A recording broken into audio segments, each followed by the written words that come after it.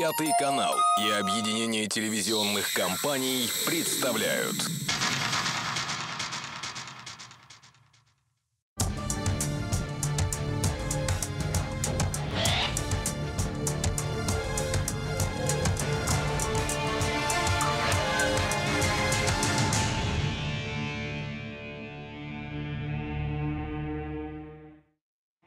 Да не ломайся ты! Тихо, тихо, тихо, тихо, тихо. Убери пистолет. Убери пистолет, психованная. Я сделаю все, что ты хочешь. Не смейте меня больше преследовать. Пожалуйста. Все, договорились. Как скажешь. Так ты что не собиралась стрелять, а? Ты ж просто поиграть хотела, зайка!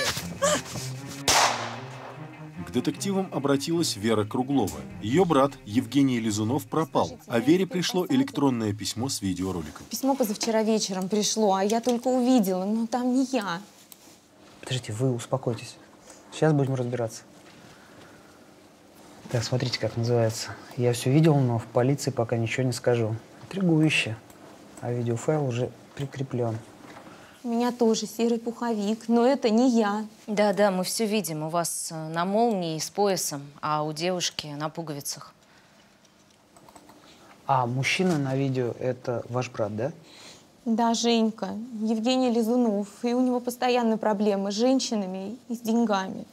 За что же брата-то завалили? Ну, подождите, ну почему сразу завалили? Да, выстрел есть, но не факт, что завалили. Что там произошло, непонятно.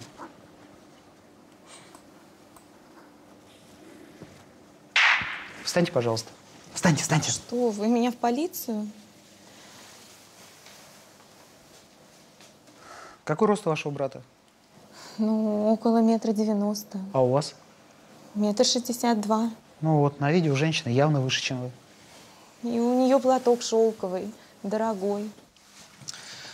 У стрелявшей был пистолет. Ну, в смысле, не револьвер. Гильза должна быть. Найти бы. Жалко, места не знаем. А Женька, Женька-то где? Он на телефон не отвечает, и в квартире его нет. Угу. А ваш брат, он один живет? У него своя квартира? Да, своя. У вас есть ключи от квартиры? Есть. Его точно убили. Ладно, тогда делаем так. Мы сейчас с вами едем вместе, осмотрим его квартиру. Вы пока остаетесь здесь. Прошу. Проходите, пожалуйста. Ой, вы извините, тут всегда такой беспорядок. Женька просто ураган. Может взять, сорваться и улететь на Мальдивы. А потом пишет, мне так понравилось, останусь еще на недельку. Ага, вышли денег. А где он работает? Да он турбюро заведует. Мне так все это надоело. У меня же дети, я учительницей работаю. Последний раз, когда он ко мне на работу пришел в школу деньги просить, я его просто выгнала. Подожди, подожди, не убирайте, дайте я посмотрю. Да, конечно. Извините, я вещи отнесу.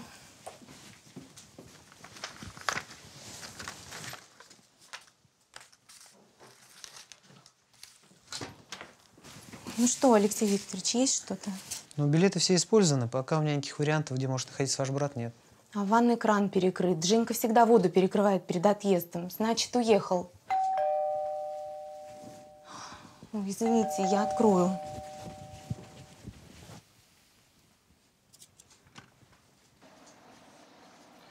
По оперативным сводкам никакого огнестрела нет. И в клинике никто, похожий на Лизунова, не поступал.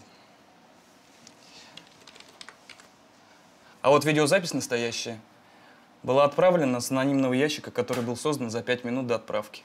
То есть специально для шантажа. А знаешь, почему все ходят в сером? Радоваться не умеют. Ну, некоторые просто не заморачиваются. Кстати, я нашел, из какого сегмента сети было отправлено видео. Ну, сегменты это хорошо, нам бы адрес. Да без проблем. Крекс, фекс, пекс. Школа номер шесть. Подожди, наша клиентка Вера работает в школе номер шесть. Давай сюда Лизунова. Не пущу его, нет! А мы сейчас проверим. Смейте! Ты кто такой? Тебе что от него надо? Он денег должен. Кому, тебе, что ли? А ты что, между я тебя отсчитывался?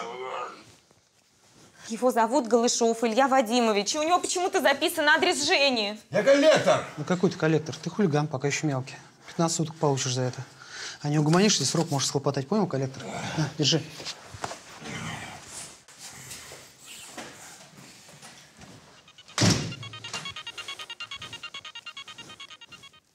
Да. Из школы? А у вас есть в школе недоброжелатели? Да нет, вроде бы. Вот только географ обижается. Он рассчитывал на ставку по информатике, а ее мне отдали. Мгм. Ну тогда выезжай, встретимся уже в школе. И собери мне информацию на Голышова Илью Вадимовича. Он тут из себя брутального коллектора изображает. Давай.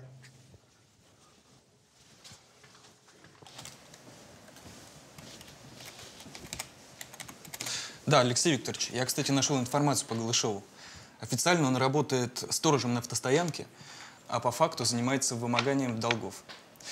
Два раза привлекался за хулиганку, кличка Заноза. Ну, значит, он работает на каких-то полулегальных ростовщиков. И если он первый доберется до нашего фигуранта, то будет плохо. Что там с журналом посещений? А нам нужен позавчерашний вечер, да? Да. Все, я нашел. Письмо отправили отсюда, из кабинета информатики. Но здесь никого не было. Вот посмотрите, нету подписи. А все ключи у охранника в сейфе. Он без подписи не выдаст. Ну, не знаю. Кто-то же за компьютером сидел. Даже скажу больше, играл. Ну, кстати, название знакомое. Я тоже эту игрушку люблю. Ну, в общем, у вас здесь безопасности никакой. А может быть, охранник сюда заходил? Да нет, это исключено. Он в компьютерах еще хуже, чем я, разбирается. Я вообще эти компьютеры, если честно, терпеть не могу. И ученики издеваются, если б не лишняя ставка. Алексей Викторович, а он здесь не один вечер сидел. Смотрите. У него четкое расписание. Понедельник, вторник, четверг, пятница. Кто? Кто может совершенно спокойно заходить в школу? Я не знаю. Школьник. Школьник, который здесь все знает. В кабинете надо делать засаду. Нам понадобится ключ от кабинета, и надо договориться с охранником. Хорошо. Помощница детектива приехала на работу в офис Лизунова, но офис туристического агентства был закрыт.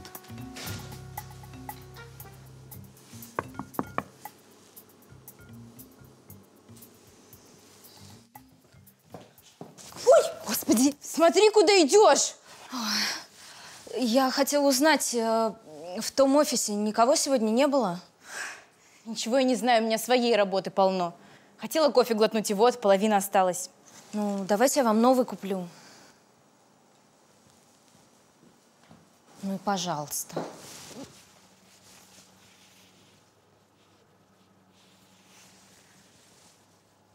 Алло, Алексей Викторович, в офисе все заперто. И, кстати, у девушки из соседнего офиса ну, такой же платок, как на видео. Детектив установил наблюдение за компьютерным классом в школе, где работала Вера Круглова.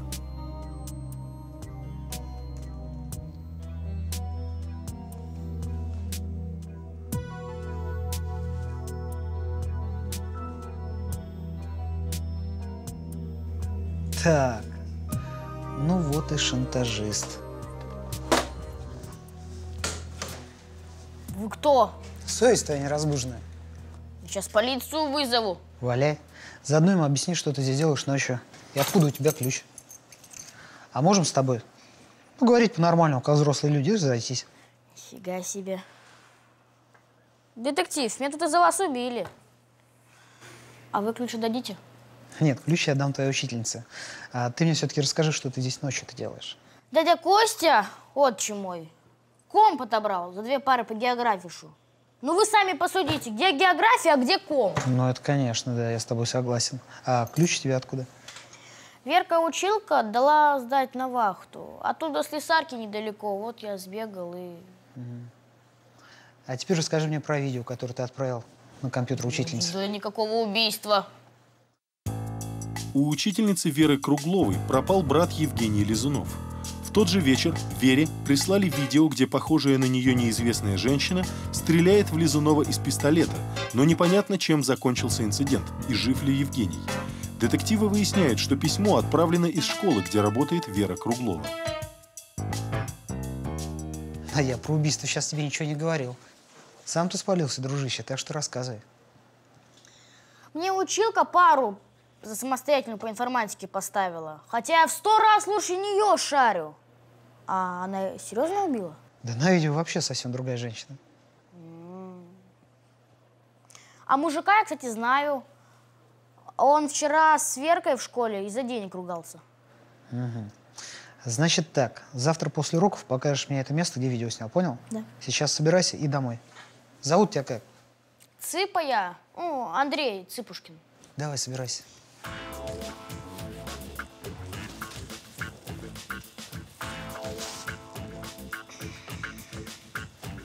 Шевелись, Андрей, куртку бери.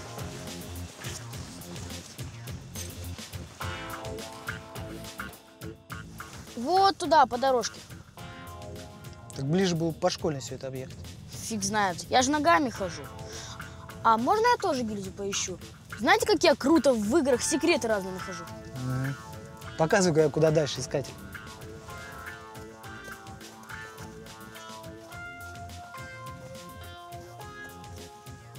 Вот здесь она стояла, а, а мужик здесь. Она в него целилась, а мужик испугался. А потом на нее попер. А потом она выстрелила. И что дальше? Что дальше, дальше? Драпанул я. Что, дурак, что ли, оставаться, ждать, пока меня застрелят тоже? Ну, что-то не похоже, чтобы здесь кто-то кого-то застрелил. Но если был выстрел, должна быть гильза. Надо гильзу искать. Надо. Оставайся здесь, ищи гильзу. А я поеду в туристическое агентство Лизунова. И я останусь. Ага. Я тут все перерою. Понятно. Присмотри за этим любителем, да. Его бы энергию в мирных целях. Ой, а вы уже уходите, все, закрылись? А, начальника нет, болеет. Если вы что-то хотите присмотреть, вот наши проспекты. Я с вашим начальником просто договаривался насчет экскурсии. У нас на фабрике почти 100 человек. Мы хотели проехать, ну, по Золотому кольцу. Суздаль, Владимир, Углич, понимаете? Почти сто. Я ничего не слышала. Давайте сейчас начальнику вашему позвоним. А, нет, я сама. Вот, возьмите визитку. Перезвоните через пару дней. Ну, чтобы лишний раз не ходить. До свидания.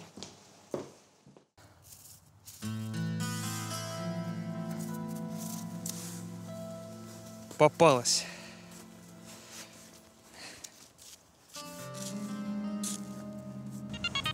Алло, Алексей Викторович? Я нашел гильзу. И я тоже помогал. И я. Ну что, хорошая работа. Ну, давайте встретимся через полчаса. Да, и надо будет потянуть ниточку насчет платка. Понял. Погнали. Детектив решил вернуться и поговорить с сотрудниками соседних офисов на работе у Евгения Лизунова. У нас интернет-магазин, и здесь товаров мы не держим. Ой, как жалко. А вот у вас такой красивый платок, вот такой бы я точно купил бы. Правда прелесть? Наш шеф заставляет носить что-то вроде униформы. Кстати, отличный подарок для вашей жены будет и для тещи. Вот, расцветочки. Мгм.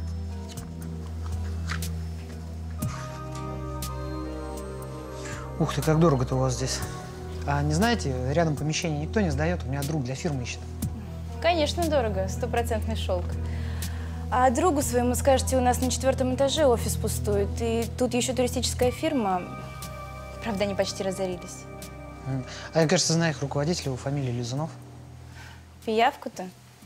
Противный тип. Прилип к моей коленке, как банный лист к... Ой. Смотрите, я бы вот такой бы заказал. Ага, сейчас отмечу. Колесики-то Осиповой. Ходит каждый день, таскается, прямо проходу не дает. То билеты в театр, то цветы. Там смотреть-то не на что. Одевается как Машка.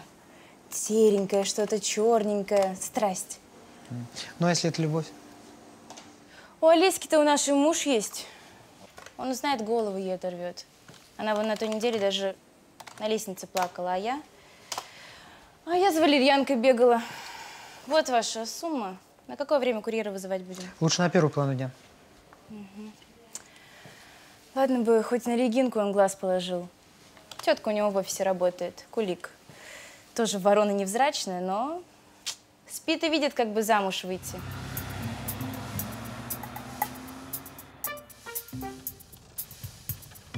Осипова Олеся Ивановна, ты мне скинь ее адрес и телефон.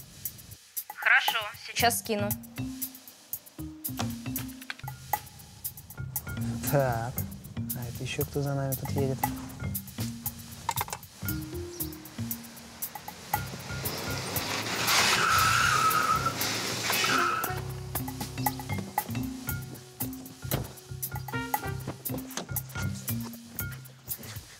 Что, псих, что ли? Я по своим делам еду. Что ты мне сказки рассказываешь? За мной катаешь, что я к Лизунову тебя привел, что ли? Слышь, мужик, тебе за свою работу платят, а мне за свою.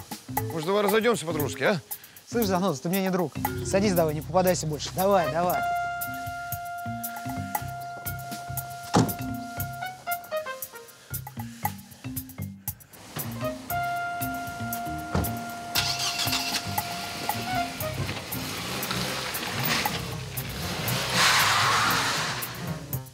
Наташа, ты сигнал видишь? Да, вижу. Он свернул на лесную. Это Голышов? Да, да. Присматривай за ним, как бы он дров не наломал.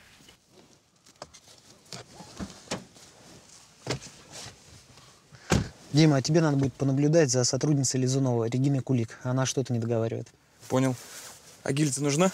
Конечно, нужна. Давай. Ну вот. Теперь, кажется, все понятно. Вере Кругловой прислали видео, на котором в ее брата Евгения Лизунова стреляет неизвестная. Алексей Насонов выяснил, что видео снял на телефон ученик Веры, но мальчик не видел, чем закончился инцидент. Охоту на Лизунова также ведет и коллектор Голышов. Детектив узнает, что в последнее время Лизунов настойчиво ухаживал за некой Олесей Осиповой. Просто скажи. Насонов решил поговорить с Олесей. Леся, куда? Остановите ее. Дура ты, Леся. Не хочешь говорить, не надо. Мерзнуть зачем? А вы не Олеся Осипова? Что с ней сделаешь? А вы к Олесе по какому вопросу? Я в командировку мотался в Казань. Приезжаю, лезу в сейф. У меня пистолет травматический. Смотрю, патрона не хватает. Вы видите, что творится? Ты кого-нибудь убила, что ли? Да никого она не убила. Патрон был холостой. Вот гильза. О, валерьянка нам понадобится. Сам знаю, что патрон холостой. Это ж я заряжал. Ну разве ж это разговор? Ставьте чайник. Выполняя задание детектива, помощник наблюдал за Региной Кулик. Алло, Алексей Викторович. Регина купила две мужские рубашки, крем для бритья и одеколон. А сейчас зашла в парикмахерскую. Да, понял. Он приставал, и- цветы эти. А я ни повода, ни намека ему не давала. Он меня у лифта подкарауливал, у выхода на работе. Я на работу боялась ходить. Ну вы не переживайте, это же не ваша вина, это вина Лизунова. Денис, подожди, я обработаю. Почему ты мне ничего об этом не говорила? Я убью этого Лизунова. Потому и не говорила. Ты убьешь, тебя посадят, а я. Видите, что творится? Как тебе вообще в голову пришло взять пистолет? Это же подсудное дело. А вечером, когда я тебе звонила, меня какой-то дурак за руку схватил. Я вырвалась, но телефон потом пропал.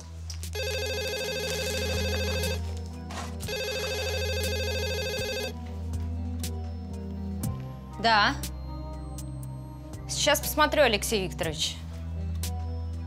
Так, Регина Кулик. Нет, она не замужем и никогда не была.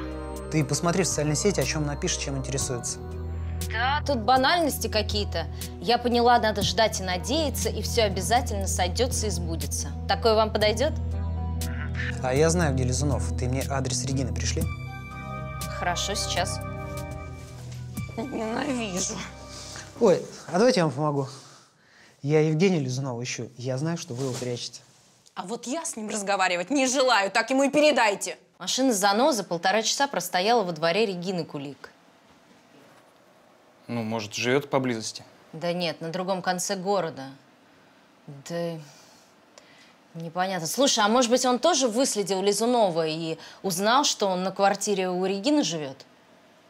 Ну, подумаешь, Алексей Викторович его в два счета заломает, если что. Я его любила.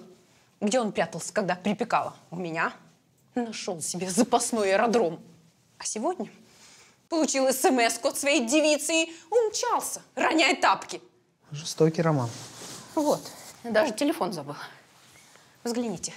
Зайка, тьфу ты. А давайте я телефон владельцу передам, ну, когда найду его. И вот это вот тоже ему передайте или в мусор выбросите, мне все равно. Алексей Викторович, заноза выследил Лизунову, я уверена.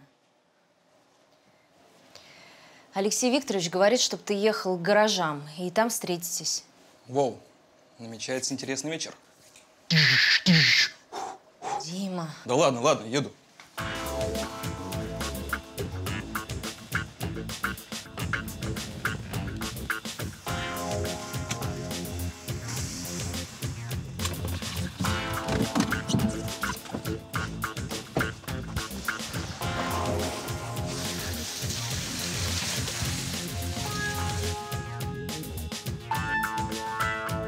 Потерял, выезжаем на кирпичную. Наташ, давай, веди нас. А, преступник едет по Гагарина. Дима, а ты где? Да, Алексей Викторович, я еду к вам по Советской. Сейчас буду поворачивать. Преступник свернул на колхозную и, похоже, движется к выезду из города. А вот это плохо.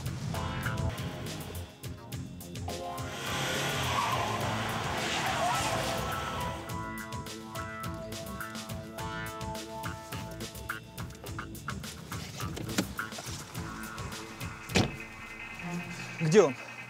Я думаю, там.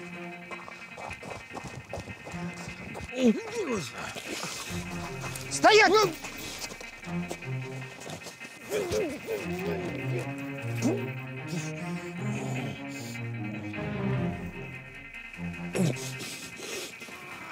Встаем. Спасибо, спасибо.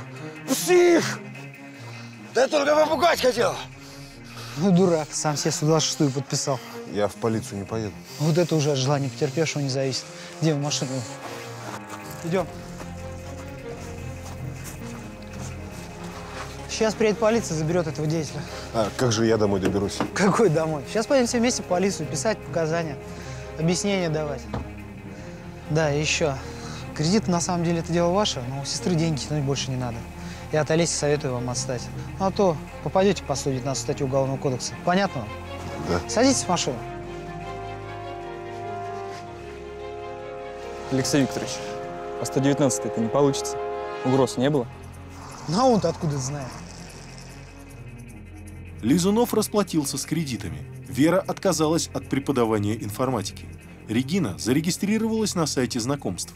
Голышов находится под следствием.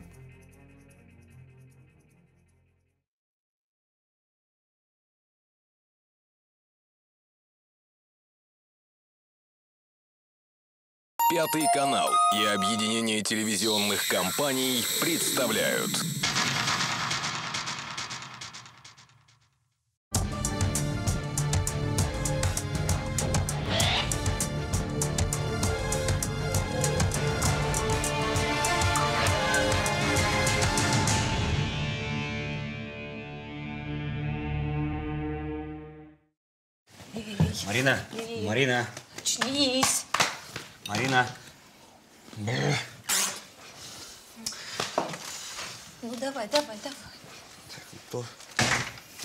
что у нас происходит-то? Игорь Петрович, э, это Марина Колмогорова. Она хотела с вами поговорить, и вдруг ей стало плохо. Я сейчас скорую вызову. Ну, ну что, ну, ну, ну. О, о, о. Молодец. На, водичку. Не надо, не надо скорую. Мне уже лучше. Извините, пожалуйста, что так вышло. Понимаете, я просто в положении, наверное, из-за этого. А что случилось-то? Вчера, вчера мой муж достал из почтового ящика анонимное письмо. Там фотография. На фотографии я в обнимку со своим одноклассником, Андреем Подшиваловым. Это просто дружеское фото, ничего такого. Но Олег, он ничего не хочет слышать. Требует развод. Ну, ну, это просто абсурд. Ну, Андрей, он ведь одноклассник, он друг детства. Живет он в Хабаровске. Приезжал сюда в командировку. Позвонил перед отъездом, попросил показать город ему. Ну, я по дороге зашла в клинику, взяла анализы, поделилась с ним этой радостью. Тогда нас и сфотографировали. Так. А давайте мы с вами уточним. Какого рода помощь вы от нас ждете? Ну, я... Я очень хочу вернуть доверие своего мужа. И, конечно, привлечь к ответственности автора этого письма. Конечно, хочу узнать, как вообще посторонние могли узнать о моей беременности. Ведь об этом знала только я и, и врачи клиники. Дело такое деликатное, я не пошла в полицию. Я понимаю. Скажите, у вас врагов нет? Может, вы с кем-то ссорились, конфликтовали в последнее время? Ну, знаете, сейчас, э, сейчас на ум приходит только бывшая жена Олега, Лариса, Лариса Максимова. Она не раз мне угрожала, даже, даже на работу мне звонила, ругалась. Но в последнее время она как-то угомонилась, и я даже как-то вздохнула спокойно. Понятно. А ты все записала? Да. Надо проверять. А кто еще мог знать о ребенке? Вот друг ваш знал? Они с вашим мужем знакомы? Нет, они, они не знакомы. Олегу я ничего не рассказывала про встречу. Он страшно ревнивый. Понимаете, они с прошлой женой развелись. Ну, у нее роман был с коллегой. После развода ребенок остался с женой. Олег видится с сыном только по выходным. Лариса чаще не разрешает. Что-то мне опять... Все, я скорую вызываю. Я сам отвезу, скорую пока дождешься. Сейчас я одеваюсь. Скажите, а сколько лет э, сыну вашего мужа? Антону, ему 16. Хороший мальчик. Мы с ним подружились. Правда, мне эта дружба боком вышла. Это как? Ну, Понимаете, на прошлой неделе мы с Антоном перезванивались несколько раз в тайне от Олега. Он просил денег в долг, умолял ничего не рассказывать родителям. Ну, Я обещала молчать. Олегу ему показались эти звонки подозрительными. Он решил, что я звоню любовнику. А вы давно замужем? А муж чем занимается? А у Олега сеть мастерских, автосервис. А когда год назад мы поженились, он настоял, чтобы я бросила работу. И еще, знаете, э, наша соседка Нина, она дружит с Ларисой. Мне кажется, она за нами шпионит, постоянно вынюхивает, кто к нам приходит. Представляете, недавно даже пыталась залезть в наш почтовый ящик. То есть вы думаете, что она могла написать письмо, чтобы своей подруге мужа вернуть? С нее останется. Она меня терпеть не может. Представляете, у нее недавно умерла кошка, так она заявила, что это я ее отравила. Так, так, так, спокойно, спокойно. Потерпите чуть-чуть, уже вот больница рядом.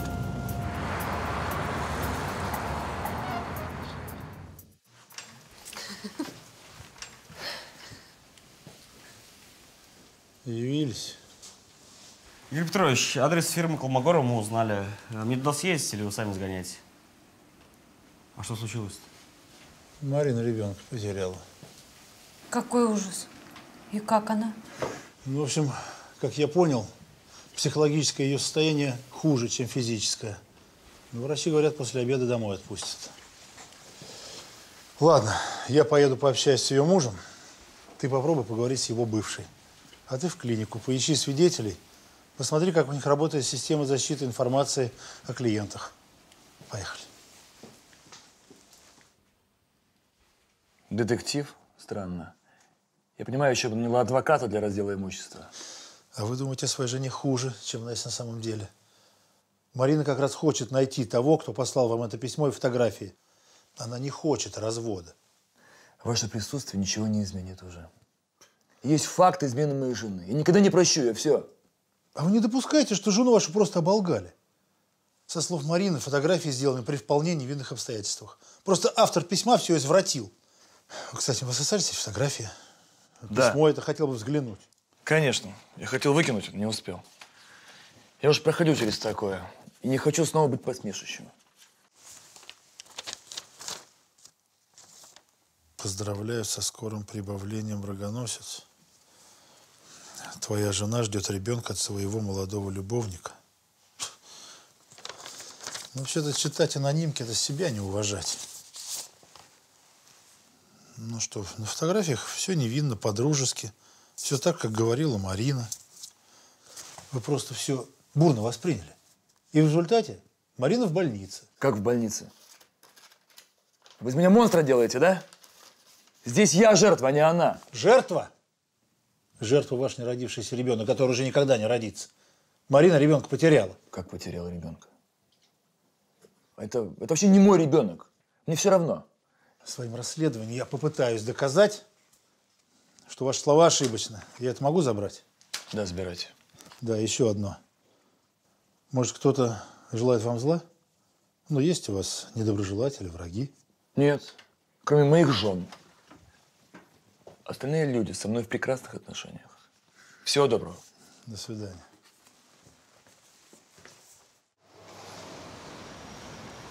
Алло, Игорь Петрович, ну Лариса как сквозь землю провалилась.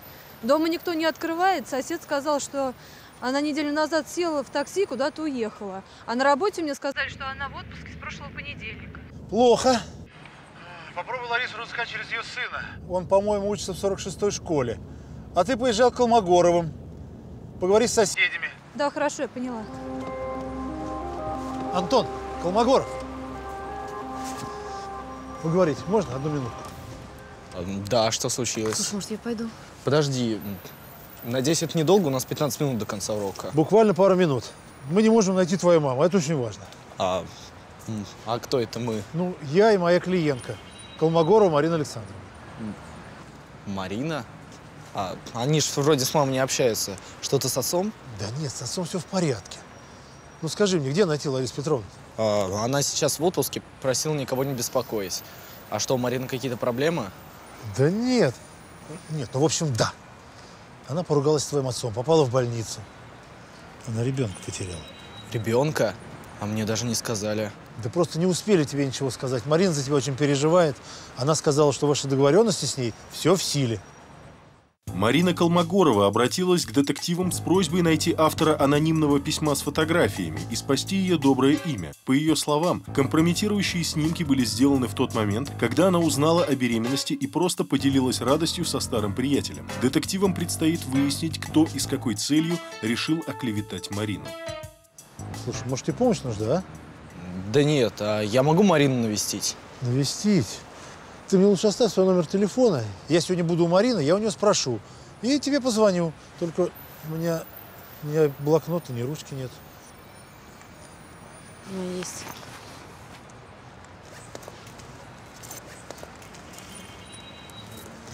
Да, и тогда сразу напиши свое имя и фамилию, а то у меня на имена, честно говоря, память не очень.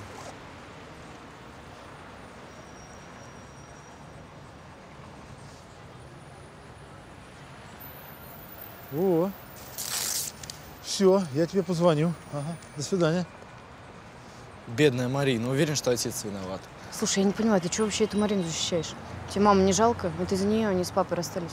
Да мать сама виновата. На месте отца я бы тоже ее бросил. Слушай, у меня вообще родители алкоголики. Чему мы говорим? Твои, мои, оба хороши. Кстати, именно Марина согласилась нам помочь. Ну, я про деньги. Ты, кстати, что-нибудь нашла? Так, все, пошли. Ой, Антон, чуть не забыл. Вот тебе визитка. Ну, если вдруг помощь тебе понадобится, или мама твоя захочет с нами встретиться. Вот теперь точно все. Ага. Помощница по заданию детектива проводила опрос соседей в доме Колмогоровых.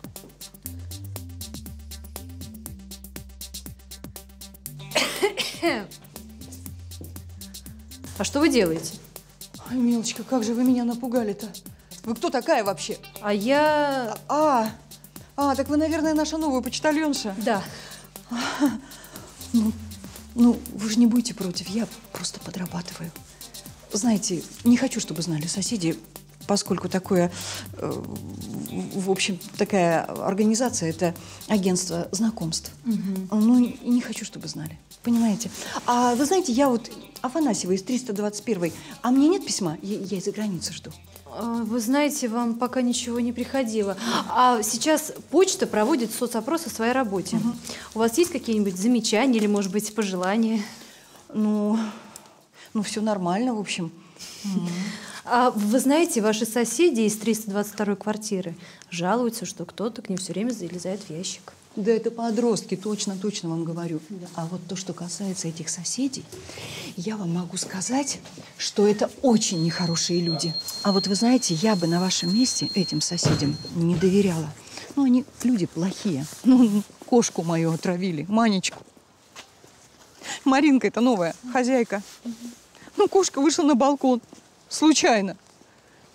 Они ее травили. Изверги.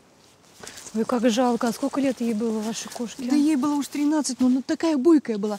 Ну, вот Лариса, бывшая жена Колмогорова, замечательная была женщина. Но он ведь подлец ее бросил. На молодой женился, на Маринке. А это... А потом, знаете, э, я ей сочувствовала. Я ей очень сочувствовала. Ну, теперь у нее все хорошо. Вот. А Антон-то их сын. Тоже ведь непонятно с кем связался, с какой девкой.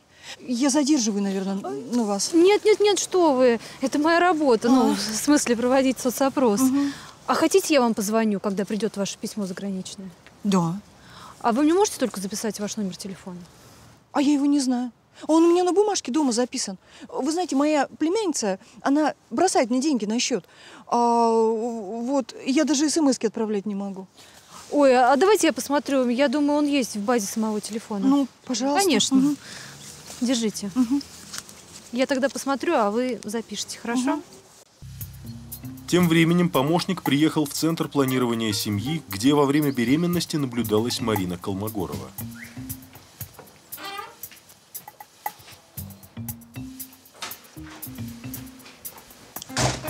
О, ты уже здесь. Да. Молодец, быстро управилась. Ну что, есть результаты? Да, есть. В общем, в доме Колмогоровых Ларису давно никто не видел. Но я знаю, куда она уехала. Ну, я прошерстила сайты авиа и железнодорожных услуг и выяснила. Ну и куда она поехала? В Москву. А из Москвы в тот же день вечером должна была улететь в Париж. Париж. Да. А еще мне удалось поговорить с ее подругой. Ну, которая соседка Марины Афанасьева. И она мне сказала, что ждет письмо из-за границы. Я даже взяла образец ее почерка. Но знаете что? Вряд ли она смогла сделать фото. Почему? Ну, потому что у нее телефон такой старый, без фотокамеры, да она им пользоваться толком не умеет. Но все равно экспертизу надо сделать. Так, вот здесь оригинал записки. А вот здесь образец почерка Антона Колмогорова.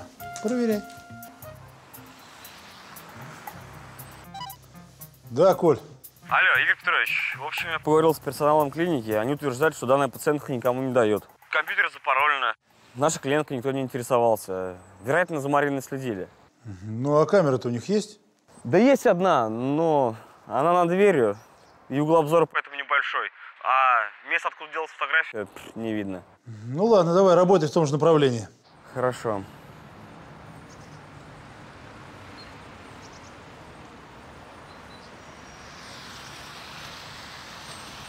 Оп. А вот это уже интересно.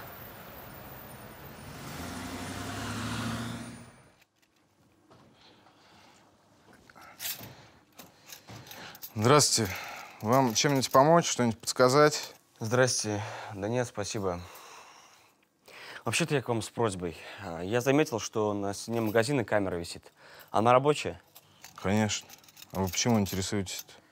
А, да дело в том, что позавчера с женой приехали в клинику, которая рядом находится. Ну, я машину оставил. Возвращаюсь максимум через час, зеркала разбиты, двери поцарапаны. А машине всего три месяца, представляете, даже страховать не успел. Вот теперь хоть плачь. Полиция, сами понимаете, вряд ли кого найдет. Беременная Марина Колмогорова обращается к детективам за помощью. Ее мужу кто-то прислал анонимку, обвиняющую Марину в измене. Из-за этой анонимки брак Колмогоровых под угрозой.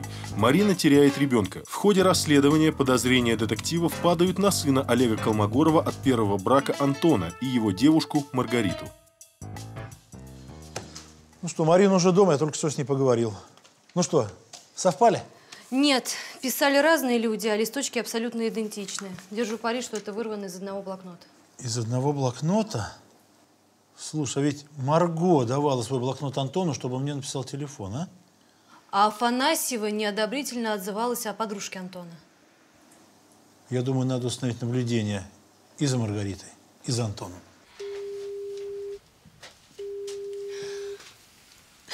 Господи, ну Олег-то почему трубку не берет? Какой-то кошмар просто, я не могу больше. Мариночка, объясни. Брак, ребенок, теперь еще это. Марина, успокойтесь, объясните толком, что случилось. Простите, это гормональный сбой. Перед вашим приходом мне позвонил Антон. Сказал, что Марго заперлась в ванной с пузырьком снотворного. Полчаса уже не открывает. Я никак Олегу не могу дозвониться. Я не знаю, что на нее нашло. Она, конечно, проблемный ребенок, но такого еще никогда не было. Так надо вызывать полицию или скорую. Да я боюсь их вызывать. Они же ее на учет в психбольницу поставят. Ладно, вы не переживайте, садитесь, не переживайте. Я сам все решу. Вы посмотрите диск, там есть видеозапись, и на ней видно, кто за вами следил. Если вообще кто-то за вами следил. Вот. Да не могу я посмотреть. У меня дисковода нету на ноутбуке. Да, Коль, что там у тебя? Угу. Так. М. Понял, понял. Бери на старый ноутбук, дуй к Марине, Коля там. Покажете Марине запись. Если что-то интересное есть, сразу звони. А я к Антону, у него что-то случилось. Хорошо. Марго, Марго, Марго, спасибо, что приехали. Я сломал замок, она постоянно засыпает. Марго. Ей нужно рвоту вызвать. Давай-ка ее в ванну. А ты скорую вызывай. Так, сейчас отмотаем на нужное время. Вот, кажется, это то, что нам нужно. Да, это я с Андреем. А это... О, Господи. Вы ее знаете? Ну да, это... Это же Марго, ну, девушка Антона. Ничего себе. Кажется, она вышла из клиники незадолго до вас. Интересно, что она там делала. Надо проверить. А вы помните телефон клиники? Да, конечно. Дань, что там у тебя? Игорь Петрович, ну у нас все нормально. Анонимку и фото подбросила Марго. Она, кстати говоря, посещала ту же клинику, что и Марина. А еще мы дозвонились Олегу, он скоро к вам приедет. Ну, спасибо, понял. Ладно, я со скоро разберусь, тогда сам тебе перезвоню. Давай. Спасибо вам большое. Если бы не вы, я не знаю, что случилось. Мы просто разговаривали. Она психанула, схватила таблетки и убежала. Как вы думаете, это могло повлиять ну, на... На что повлиять? Или на кого? Ну, что повлиять? На ребенка? Да. Марго беременна. Мы как раз с ней разговаривали об этом. Я сказал, как бы было удивительно, если бы Марина не потеряла ребенка, и наши бы дети были бы ровесниками. Не нужно было этого говорить. Ты ни в чем не виноват. Может, теперь расскажешь, зачем тебе деньги понадобились? На аборт. Когда я предложил Марго это, она очень сильно разозлилась. Ну, а вы представьте, мы еще в школе учимся, а мои родители, сколько шума будет. Даже Марина не поймет. И все Марго ненавидят из-за ее родителей. Да, кстати, твоя мама где? Во Франции. Она к мужику поехала. Они по интернету познакомились, и он ей приглашение оформил. Блудная мать у меня. Мне стыдно было говорить. Так, что случилось? Марина сказала, что... Антон. Пап, все хорошо. Марго уже лучше. Тебе лучше сейчас с Мариной быть. Вы зря вы поссорились. Ты мне учить думал, что ли? Мы выяснили, кто прислал вам и записку, и фотографии. Это Марго сделала. Правда, зачем мы не выяснили. Какую записку? Какие фотографии? Из-за которых твой отец с Мариной поссорился. Как Марго? Почему Марго? Да потому что Марина всегда была против меня. Я разозлилась. Стой, куда ты пошла? Объясни. Получается, на Димке все вранье, что ли? Это была месть? Это случайно произошло.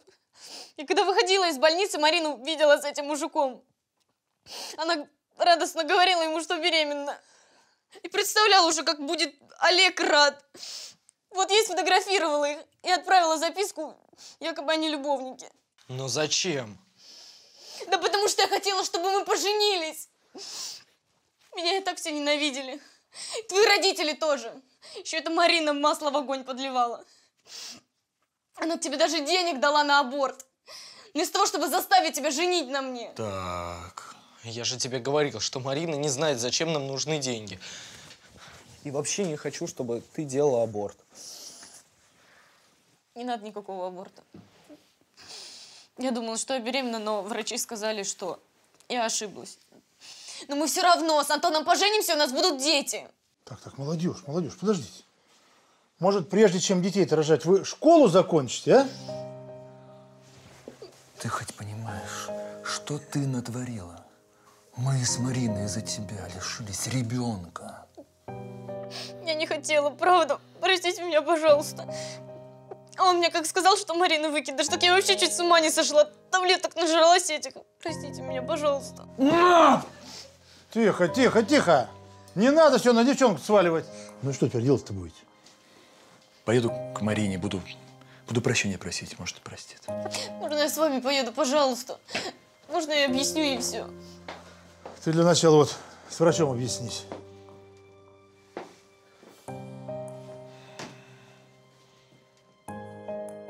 Через год у Олега и Марины Колмогоровых родилась дочь. Антон и Маргарита расстались. После окончания школы Марго уехала в другой город.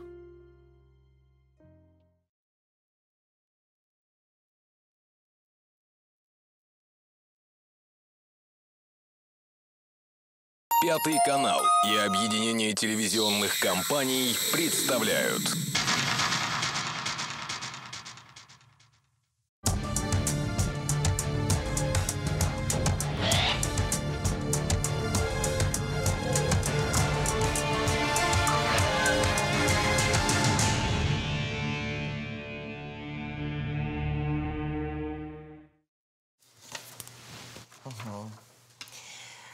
тот день детектив Лукин приехал в соседний город в командировку. Я хозяйка этой гостиницы, меня зовут Анна.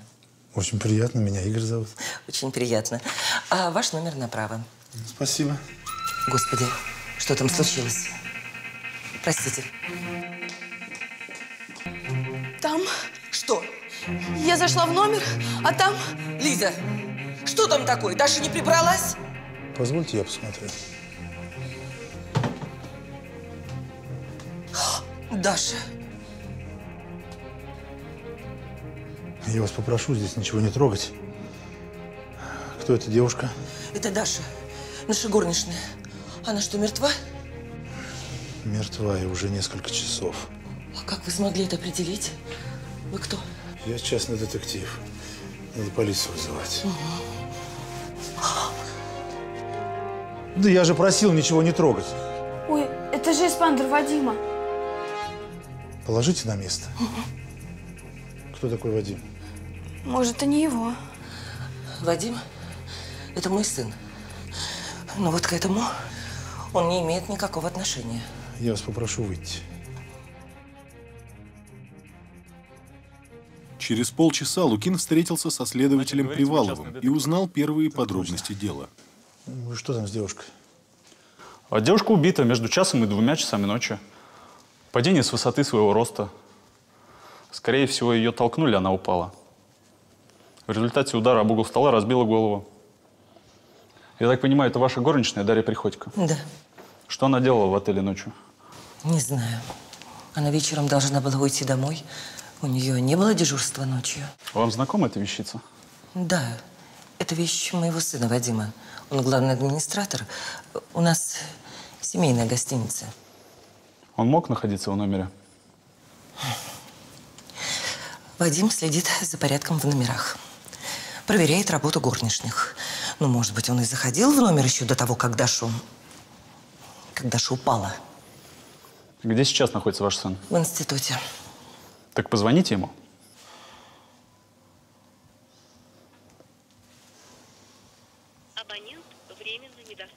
Он выключил телефон, потому что у него лекция. Разберемся. Идите в свой кабинет, ждите меня там. Оставшись одна, Анна Павловна пыталась дозвониться до сына. Телефон. Телефон Вадика до сих пор выключен. Я звонила на кафедру. Он сегодня не был в институте. Ой, господи. Господи, неужели с ним что-то случилось? Ну, а если он виноват? И сбежал. Не виноват он. Я это знаю. Анна Павловна, я узнал, что... Олежек, такое несчастье. А ты сегодня, ты сегодня Вадика видел?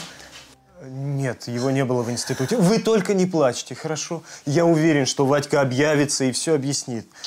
Дашу, конечно, очень жаль. Спасибо тебе, Олег. Там с трубами на первом этаже что-то надо проверить. Да-да, конечно, я все сделаю. Вы только не плачьте, хорошо? А вы тоже здесь работаете? Да, я старший администратор. А, знакомьтесь, это Лукин Игорь Петрович, честный детектив. Олег, друг Вадика, они учатся на одном курсе. Очень приятно. Я могу с вами поговорить? Вы не возражаете? Ну да, да, да, конечно.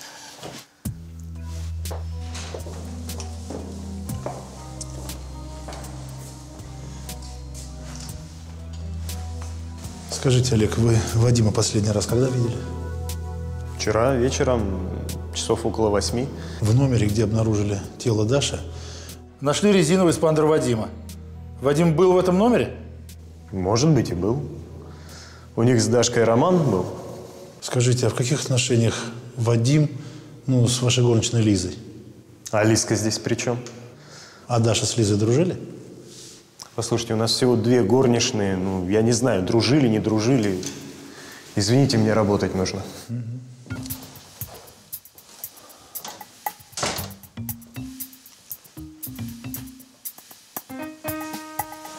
Анна, вы знаете, что у Вадима и у Даши был роман? Да какой там роман, так? Они же взрослые люди. Но Дашка Вадику не пара. Она сирота, воспитывалась в детдоме. Вы сами знаете, какие там изломанные детки. А Вадим студент, спортсмен. Его ждет прекрасное будущее. Ну, надо же было мальчику с кем-то, правда? Уж лучше с Дашкой, чем с девкой с улицы. Сюда иди, гад! Я тебя спрашиваю, где эта сволочь? Да что там еще? Где эта сволочь?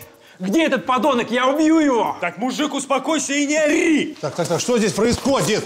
Ты что ли папаша этого урода? Я тебе сейчас морду начищу. Какого урода? Мне только что из полиции позвонили, сказали про сестру. Это Вадька ее убил. Пять месяцев дурил девке голову, обещал жениться, а потом грохнул. Жениться? Да не мог Вадик такого обещать. Так ты что ли мамаша его? Как вы смеете? Как вы смеете? Прекратите дебоширить, иначе я полицию вызову. А ты меня не пугай, я сейчас сам полицию вызову, чтоб Вадьку вашего в тюрьму закатали, понятно? Боже мой. Боже мой. Давай-ка мы с тобой отойдем и поговорим. Ну пошли, коль не шутишь. Я Дашку сразу предупреждал, чтобы она не связывалась с этим чистоплюем. Потому что он ей не пара, такой никогда не женится. А только поматросит и бросит. Тебя как зовут? Федор. Федор Приходько. А по батюшке? Иваныч. Вот что, Федор Иванович, меня зовут Игорь Петрович Лукин. Я частный детектив. Вадим пропал. Мы пока не знаем, где его искать. Я все равно его найду.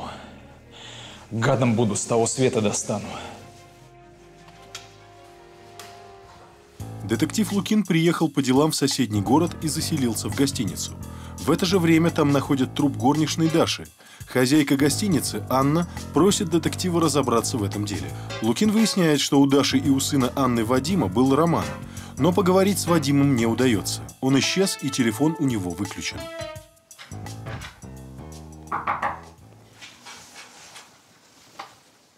Вечером в номер Лукина неожиданно пришла горничная Лиза. Заходите, протирайте.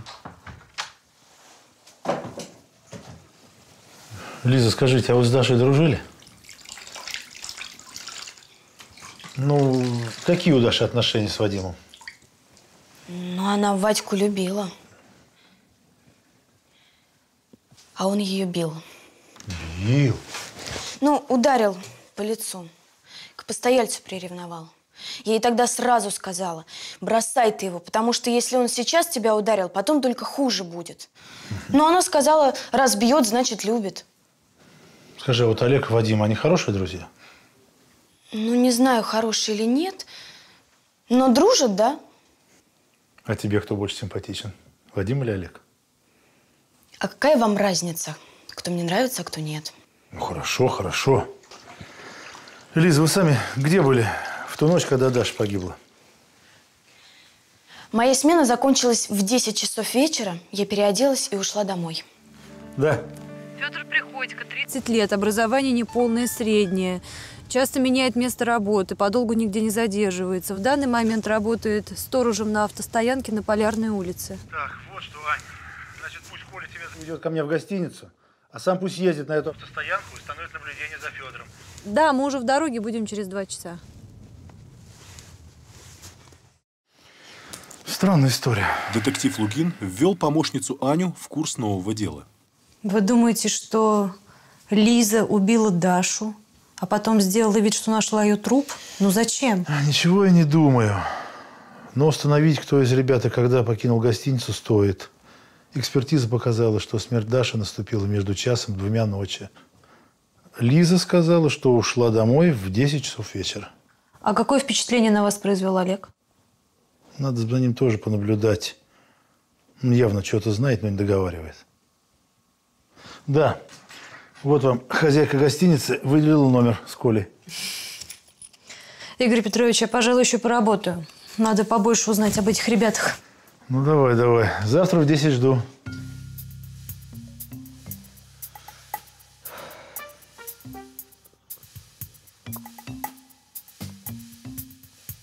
До самого утра Николай вел наблюдение за Федором Приходько.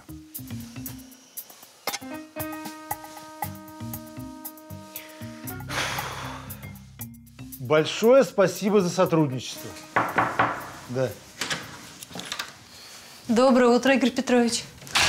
Надеюсь, ничего за ночь не произошло? Ничего.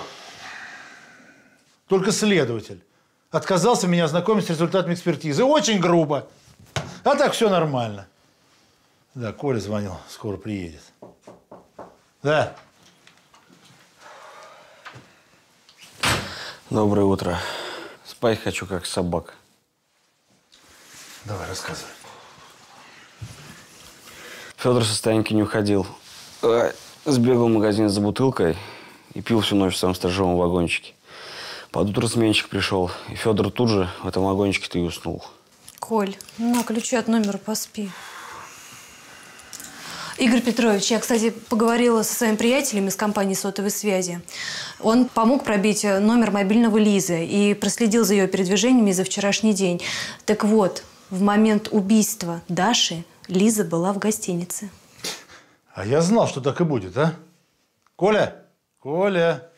Все, давай иди спать себе в номер, а то здесь заснешь.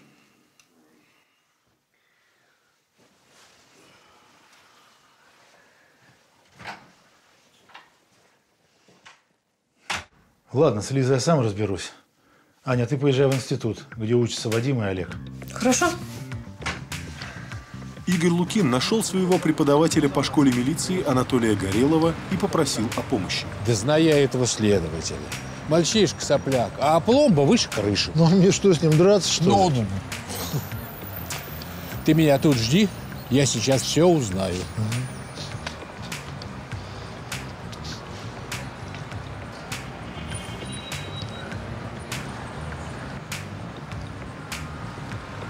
Ань, ну что, там есть информация? Да, я поговорила с преподавателями и студентами.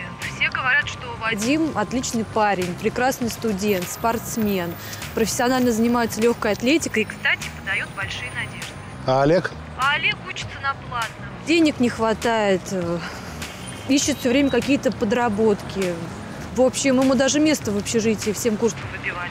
Так он что, в общежитии живет? Ну да, хотя прописан в квартире у матери. Отца у него нет. А какие отношения у Олега с Вадимом? Но один парень мне сказал, что Олег и Вадим спорили из-за какой-то девушки. Они называли ее Дашкой. Понял, спасибо.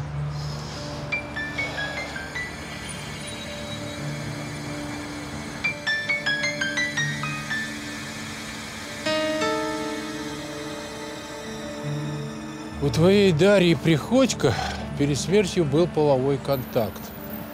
Между прочим, она беременна была 8 недель. Вот оно как. Ты найди эту сволочь, Игорек. Найди. Не может безнаказанно ходить по улице тот, кто убил беременную женщину. Я постараюсь, Анатолий Петрович, я очень постараюсь. Игорь Петрович, наконец-то. У меня деньги пропали. Сто тысяч. Они лежали в сейфе в кабинете. 300 тысяч. Вчера вечером, когда я закрывала сейф, все деньги были. А остальные 200 на месте? Да. А вы не допускаете мысли, что деньги мог взять Вадим? Вадим не мог ограбить родную мать. Мой сын не убийца и не вор. А у кого еще есть ключ от сейфа? Или там кодовый замок? Нет, замок обычный, а ключ только у меня. Может, вы плохо знаете своего сына? Вот вы мне сказали, что у него с Дашей ничего серьезного. А вскрытие показало, что девушка была беременна. Как беременна?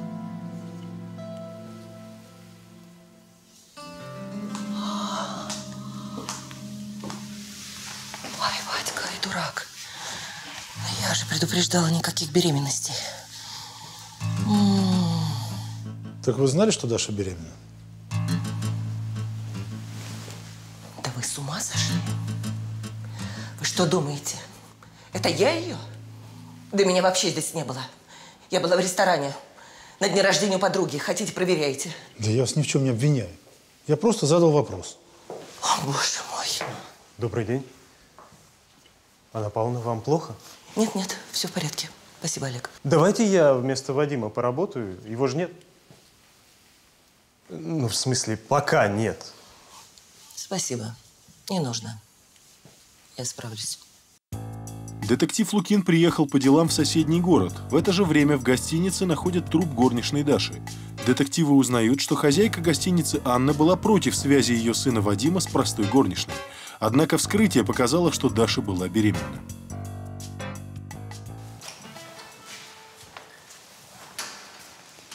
Лиза, а вы почему меня обманули?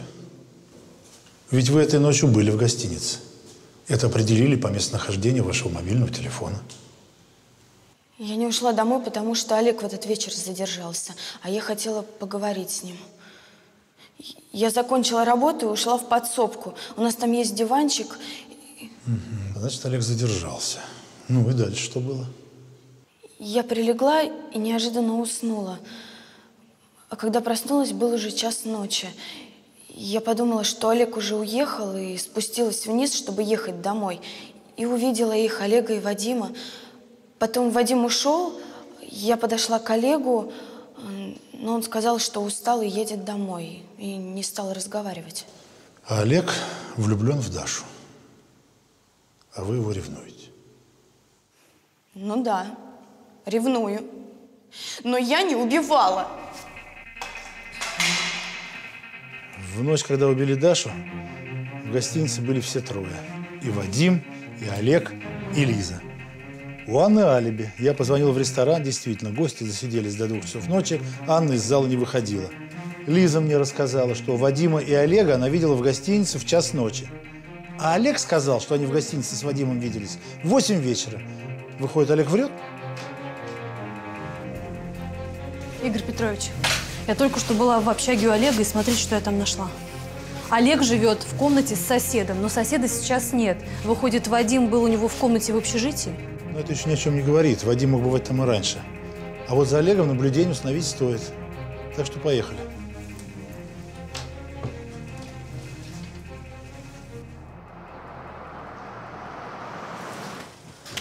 О, вот он, в такси сел. Похоже, что парень не бедствует. Ну, давайте в машину и за ним. Приехав в поселок Северный, Олег отпустил такси и вошел в дом.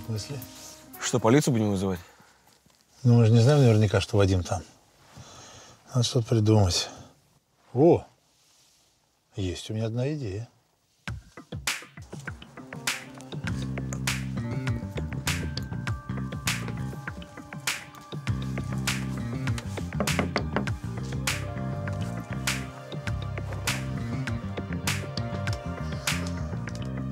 Чего тебе?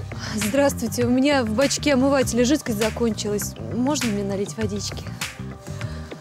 Ну, проходи. Почему бы не помочь такой красивой девушке? Спасибо.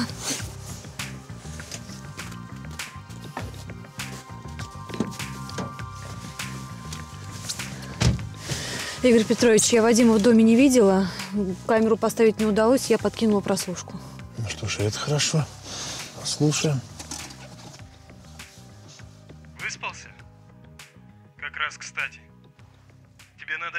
Иначе тебя посадят за убийство. Куда мне бежать? Лучше сдаться полиции. Вот пусть меня посадят, пусть. Но я Дашку не убивал. Да твой крик все слышали, и я его слышал. И все знают, что ты ее бил. Так а ну-ка, постой, постой. Я только сейчас начинаю понимать. Ты слышал, как мы поругались. Значит, ты был рядом.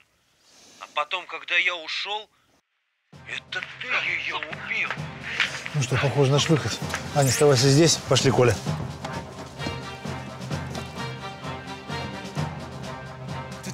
Ты же все сказал, я тебя убью! Стоп! Ты сейчас сам вслед за Дашкой пойдешь! Тихо, тихо, тихо, тихо. А, ищейки поганые! Шли. Пойдем, Вадим, я тебе все объясню. Как же я повелся. Тварь. Какая же ты тварь. Ты с Дашей был в номере, а потом вы поссорились, и ты ушел, так?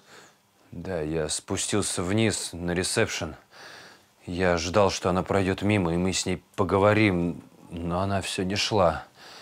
Я начал психовать, а когда я психую, я все время разминаю руку эспандером. Эспандер я оставил в номере, а я подумал, что если я поднимусь к ней, ну, типа эспандер забыл, ну и помирюсь с Дашкой. Даш, ну прости, я не хотел. Дашка, ты что, ты чего это? Вадька! Вадька, ты что, сдурел? Ты же убил ее! Я никому не скажу. Я помогу тебе. Трус. Какой же я трус. Я подумал, что если лучший друг мне не верит, то что скажут все остальные? Это Олег предложил тебе здесь укрыться? Да. А вот и деньги нашлись. 75 тысяч. Тайник был под подоконником. Так банально. Деньги-то ты зачем украл? Я любил Дашу. А этот спал только с ней. Решил Дашу уговорить с тобой уехать, да? Для этого деньги понадобились? Да. Тем более сделать это было просто. Ключ от сейфа всегда лежал в кармане костюма Анны Павловны, в котором она ходила в гостинице и переодевалась, когда уходила домой. Ты услышал, как Даша с Вадимом поругались, увидел, как Вадим ушел из номера, а сам туда вошел. Да. Вадик,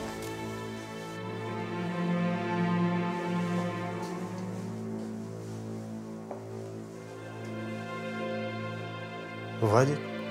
Зачем тебе Вадик? Он не любит тебя, он не женится на тебе никогда. Поехали со мной. Поехали, я люблю тебя. Давай уедем и будем счастливы, у меня есть деньги. Дашенька, Дашенька. ты дурак, что ли? Посмотри на себя. Ты в подметке не годишься Вадику.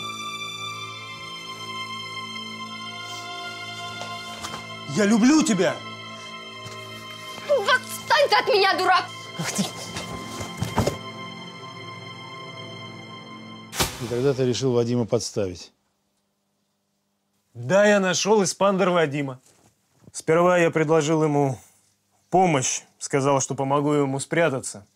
А потом, когда понял, что меня самого могут привлечь в полицию за укрывательство, я предложил ему бежать.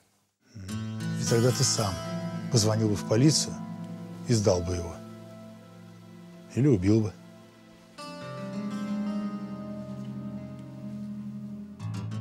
Олег в камере ждет суда. Вадим по-прежнему помогает маме. Лиза из гостиницы уволилась.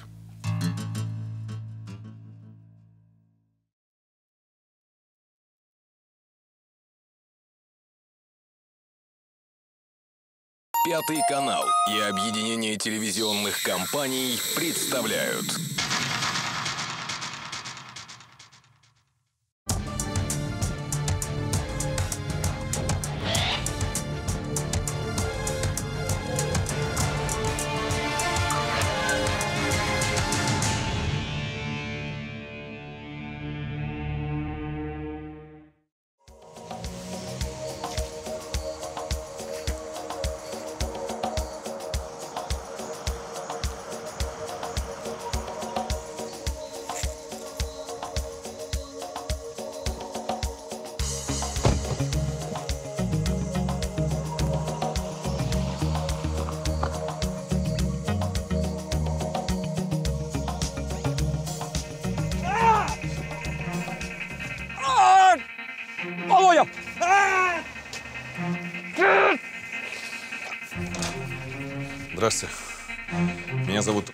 Антон Морозов. Меня подставили.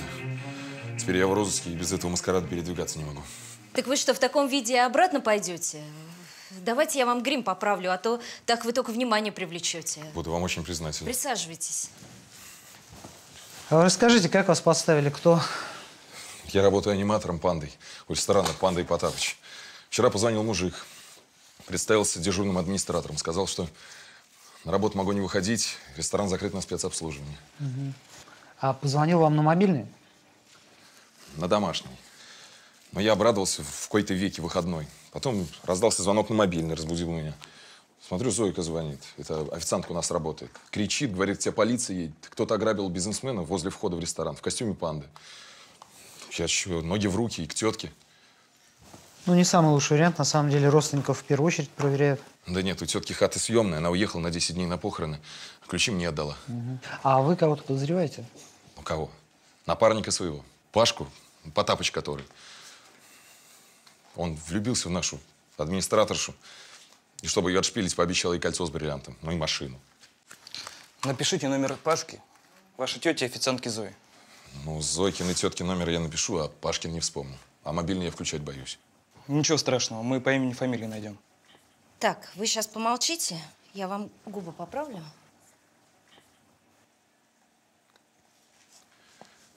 Спасибо вам большое. Я пойду. Очень на вас надеюсь.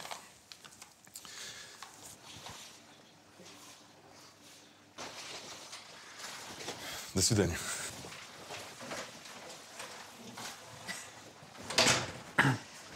Значит так, Наташ, надо будет найти номер этого Паши и попробовать узнать место, где он сейчас находится. Мы с тобой пока в ресторан.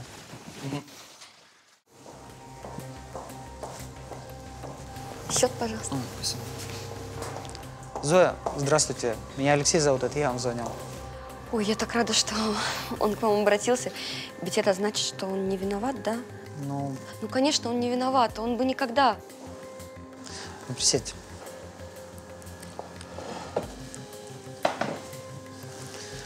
А вы что, так хорошо его знаете?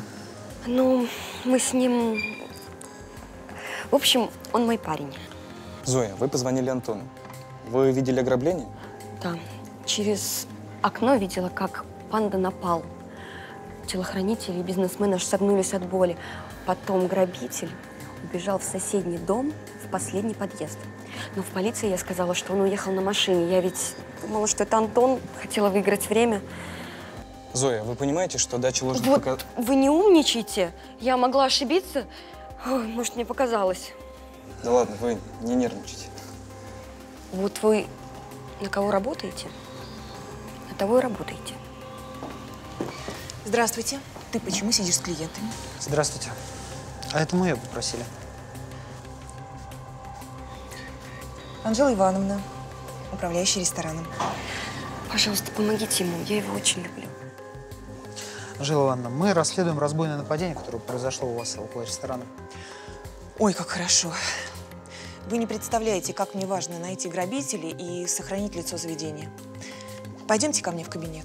Да, конечно. Ты пока информацию здесь проверяй. Бизнесмен, которого ограбили, наш постоянный клиент.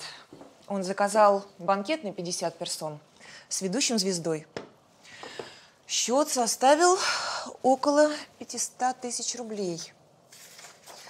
А Он позвонил вчера утром и сказал, что приедет с оплатой в течение дня.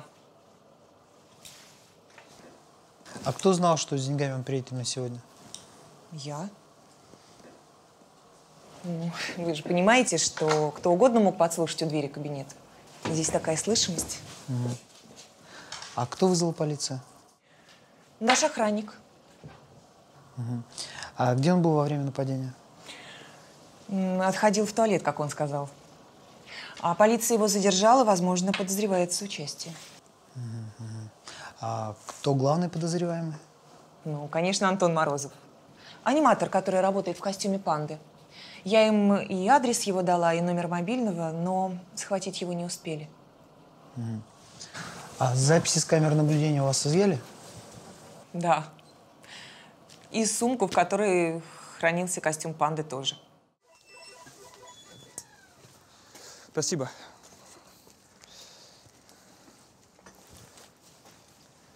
Извините. Да. Алло, Алексей Викторович. Замки на чердачной двери чужие. Мы сейчас с работницей из ДЭЗа хотели открыть двери, но ключи не подходят. Другие замки стоят, да. Я думаю, что это грабитель спилил замки и повесил новые, чтобы не привлекать внимания. Вызывай полицию, я сейчас подъеду. Извините. Полиции удалось обнаружить брошенный костюм панды в подъезде, через который скрылся грабитель. И как это у вас получается? Кадры решают все. Мне бы записи с видеокамер у ресторана посмотреть. Ну, с камерами любой дурак найдет. А если серьезно не положено, сами знаете. А если следователь не чай за меня словечко замолвит? Ну, разве что не чай. Докладываю, Алексей Викторович. Последние координаты мобильника Павла были зафиксированы вот здесь. Это за 200 километров от города. Версия клиента подтверждается. Павел в бегах. Но если Павел пошел на преступление ради Анжелы, то к Анжеле он должен явиться. С раннего утра Дима занял наблюдательную позицию у квартиры Анжелы Ивановны.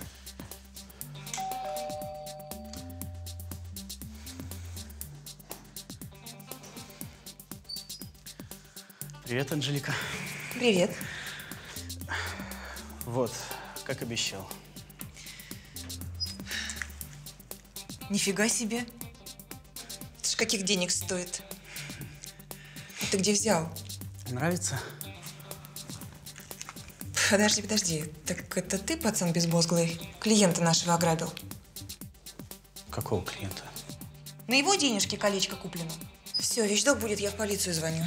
Подожди, Анжелика. ну, Постой, как- какого клиента? Убери ногу и не смей мне тыкать. И вообще с этой минуты ты уволен. Да, Анжелика, да послушай, да я же, я же к бабушке ездил, у нее кольцо выпросил. Вот только что вернулся. Хочешь, я тебе билет покажу? Покажи. Вот, смотри. Фух. Да ты же не знаешь ничего. У нас возле ресторана клиента ограбили. Ага. Рассказывай, что у вас произошло? Какого клиента ограбили? Ладно, заходи. Ты знаешь, у нас просто такое ЧП было. У нас наш клиент... К детективу Алексею Насонову обратился Антон Морозов. Он заявил, что скрывается от полиции, так как его подставил напарник Павел Самохин, ограбивший бизнесмена в костюме ростовой куклы «Панды», в котором обычно работает Антон. Детективам удалось выйти на Павла, однако оказалось, что он уезжал из города и даже не в курсе нападения у ресторана. Наташа! Наташа, тебе надо будет съездить к Антону и подробно расспросить его о персонале ресторана. Я все-таки думаю, что это кто-то из своих. Так значит, это не Пашка. Ну, я думала, ты обрадуешься. Да чему радоваться? Сколько мне еще прятаться? Ну, если тебе будет лучше в СИЗО, ты можешь выйти, пожалуйста. Но полиции ты по-прежнему подозреваемый номер один. О, зефирки можно? Угощайся. Кстати, Зойка принесла. Зойка? Ну, конечно. Вот вам и подозреваемый номер два. Ты что, совсем спятил? Да ты послушай. У Зойки есть дочка, нагуленная не пойми от кого. Так вот эта дочка недавно на себя кастрюлю с горячей водой опрокинула и обварилась.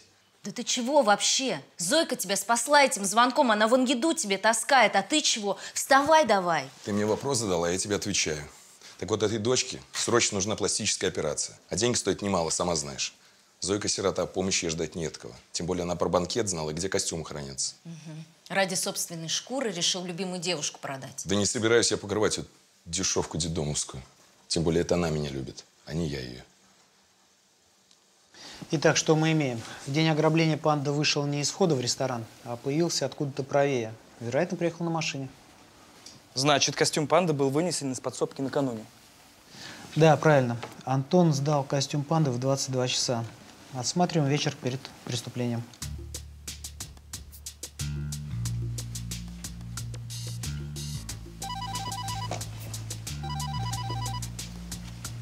Да. Алексей Викторович, этот Антон перевел стрелки на Зою. Говорит, ее ребенку срочно нужны деньги на операцию. Но ведь у Зои алиби. Ну, клиент утверждает, что у нее мог быть сообщник. Мы проверим. Мы уже проверяем, мы сейчас отсматриваем видео. Да полиция уже все давно проверила. Ничего мы не найдем. Эта сумка должна быть большая, ну, чтобы костюм вынести. А здесь все посетители налегке ходят. А может, это кто-то с кухни? Ну, в коробках из-под продуктов вынес. Так, стоп. Вот, посмотри, вот эта женщина мне не нравится. Ну, я, в принципе, тоже не разделяю мнение о том, что беременность украшает женщин, но... Все, все, все, шутка не засчитана. Значит, делаешь скриншот и обрабатываешь. Убираешь длинные волосы, убираешь беременность и накладываешь двухдневную щетину. Посмотрим, что получится. Думаете, мужик? А под одеждой костюм панды? Ну а что, логично. Туда он зашел с шарика под одеждой, а обратно вынес костюм панды. И еще, если преступник это сообщник Зои, то рано или поздно он с ней встретится.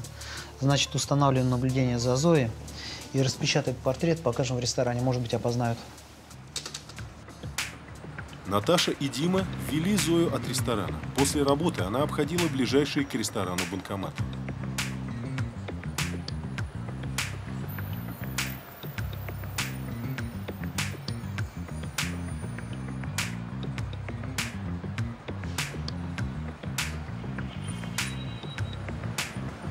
Собрав деньги, Зоя пришла к больнице.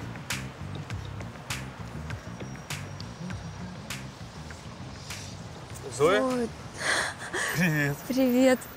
А ты что здесь делаешь? Да, пришла операцию на пластику дочки оплачивать. А, а что с дочкой? Соседка моя, баба Клава, которая с дочкой сидит, не доглядела.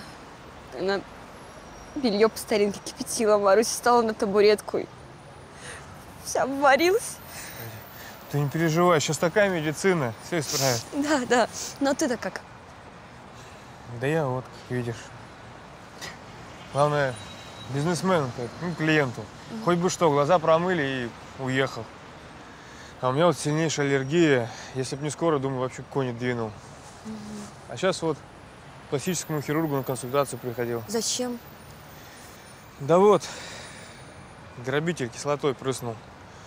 Шрамы, конечно, украшают мужчину, но Мгм. подумал, все-таки как-то... Ладно, Вов, Ну, побегу давай, я. давай. Я так понимаю, это тот самый охранник, Владимир? Да, правильно понимаешь.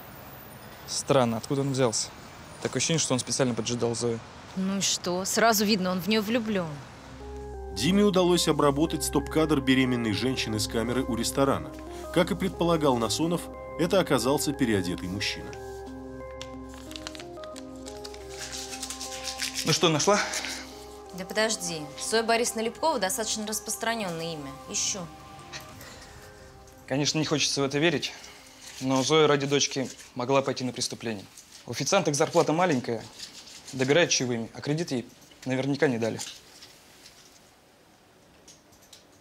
Эй, Робин Гуд, меткий стрелок, подкинь-ка мне флешку. Я нашла Зоин профайл о помощи. Лови. Опа. Здесь и реквизиты банка, и номер карточки, куда деньги перечислять. Ну а что, хитро придумано. Сообщник кладет на ее счет деньги, а она снимает их с разных банкоматов.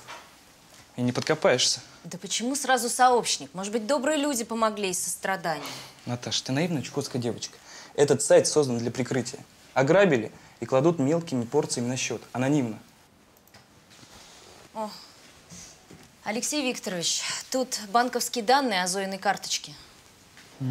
Я попробую через своего знакомого узнать, кто, когда и какие суммы переводил на счет. На следующий день Дима пришел в ресторан, чтобы показать персоналу фото неизвестного, скрывавшегося под маской беременной женщины. Присаживайтесь. Да, такова моя доля. Вы извините, что я отвлекаю вас от обеда, но это минутное дело. Посмотрите, пожалуйста, вы когда-нибудь видели этого человека у вас в ресторане? Нет. Подозрение, что Антона Морозова подставил под ограбление его напарник Павел Самохин, не подтвердилось. Теперь Антон уверен, что ограбление спланировала официантка Зоя, а помог ей сообщник в женском гриме. И действительно, Зоя сняла в банкоматах крупную сумму, чтобы оплатить пластическую операцию дочери. Я, я. Тоже не можешь. Я получил информацию по Зоиному счету. И что там? Ну, весь месяц были небольшие поступления по 100, максимум по 1000 рублей. А сразу после разбойного нападения начались переводы по 15 тысяч рублей. А деньги вкладывались наличными через разные банкоматы. Но очень похоже, что это те самые похищенные деньги. Так, ну подождите, что-то не складывается. А что, если грабитель отец ребенка? Тогда он Антона как соперника должен ненавидеть. Ну вот решил переодеться в панду, чтобы его подставить. Тогда, если ты прав, то преступник только на костюме не остановится. Он постарается поставить Антона по максимуму. Поезжайте к Антону и охраняйте его. Не открывают? Шифруется? О, это вы. Вы с ним договаривались? Да. Мы с утра договаривались, что я ему еды привезу, как моя смена закончится. И ума не приложу, что могло случиться. Здрасте. Можно я вот здесь побуду? А что случилось? От полиции сбежал. Спрыгнул с балкона, потом за гаражами спрятался. Как стемнело, к вам прибежал. Замерз, как цуцик. А когда они к тебе пришли? Днем. Полицейские позвонили в дверь, сказали, Антон, открывайте, мы знаем, что вы здесь. Вот откуда они знают? О том, что я на съемной квартире у тетки, знали только вы да Зойка. Сейчас я следователю позвоню. Ну, как успехи? Поймали грабителя? Это? Мы не поймали. Я думал, вы поймали. Поймали бы. Да стажер мой сплоховал. Балкон не прикрыл, и Морозов сбежал. А на Морозова-то как вышли, если не секрет?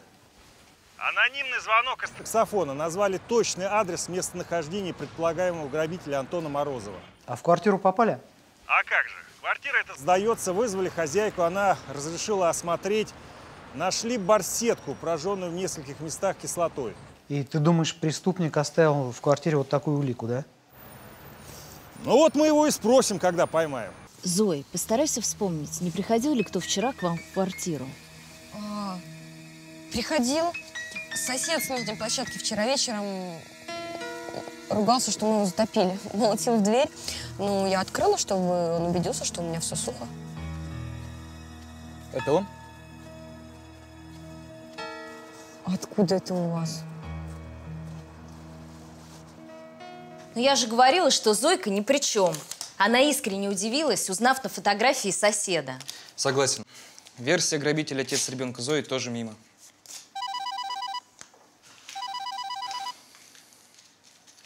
Да, Анжела Ивановна.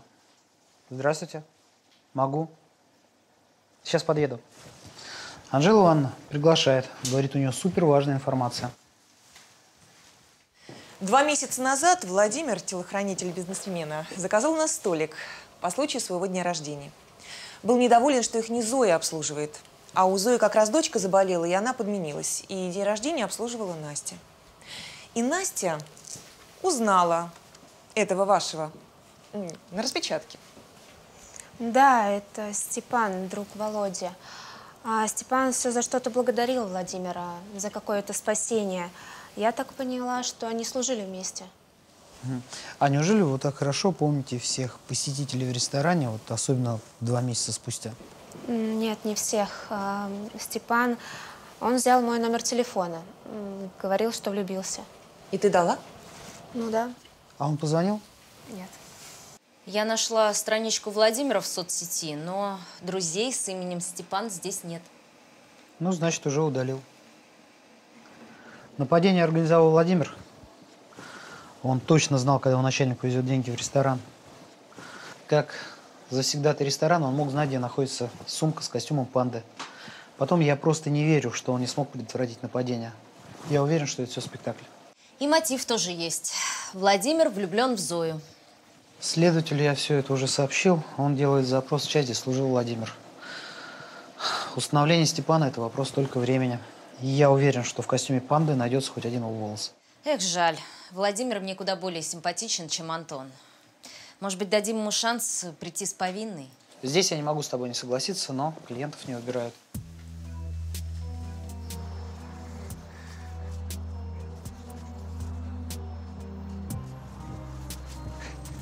Оп. Привет от тебе. Спасибо. Как дочка? Хорошо, операция прошла успешно. Теперь э, самое трудное осталась реабилитация. Ну и слава богу. Можно я тебя провожу? А Ты меня охраняешь или... или как? Ухаживаю. Ты извини, я красиво говорить-то не умею, но... Здрасте, а вы здесь как? Здрасте. Хочу представить вам вашего спонсора. Это Владимир. Это он перевел деньги на счет. Это он спланировал и провел ограбление бизнесмена вместе с своим армейским другом Степаном Юдиным. Подождите, давайте отойдем, поговорить надо. Давайте. Извини, я сейчас. Послушайте, я готов за все ответить. Я просто очень люблю Зою, и здоровье ее дочки мне гораздо важнее, чем то, как меня накажут. Только Степа здесь вообще не при делах. Это все я. Вы же взрослые люди. Вы же должны понимать, что это не шутки. Это уголовная статья, причем очень серьезная. Но вас-то еще можно понять. А Степан-то каким образом туда попал? Да в армии мы с ним вместе служили. Он там был, как мальчик для битья. Я его буквально из петли достал. Вот и стал ему как батя. Ну, можно же было, наверное, деньги взаймы взять. Ну, кредит, в конце концов. Да пробовал я. Мне не дали из-за того, что еще один незакрытый висит. А Степке не дали из-за того, что у него смешная зарплата. Вот и влипли. Вова, Вова, я все слышала. Я, я даже не знаю, что сказать. Вова, ты сумасшедший, что же ты наделал, Вов?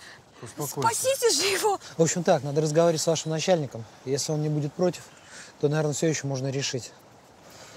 Вот мой телефон, позвоните. Я попробую вам помочь. Спасибо. Спасибо.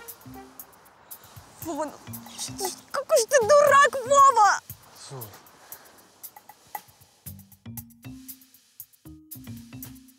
Насонов помог Владимиру и Степану найти хорошего адвоката.